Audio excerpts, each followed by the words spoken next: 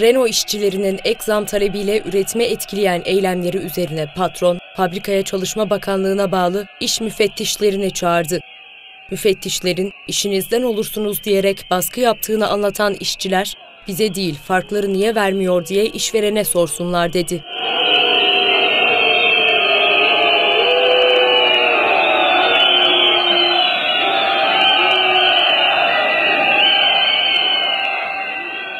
İşçiler, kendileriyle yapılan görüşmeyi kamera kaydına alan müfettişlerin bu eylemlere neden katılıyorsunuz? Sizleri kim zorluyor? Sözcüleriniz kim? gibi sorular sorarak psikolojik baskı yaptığını dile getirdi.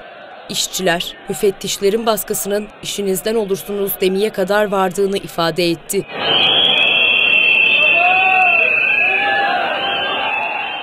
Müfettişlerin baskısına rağmen geri adım atmayan işçiler eylemlerini sürdürüyor.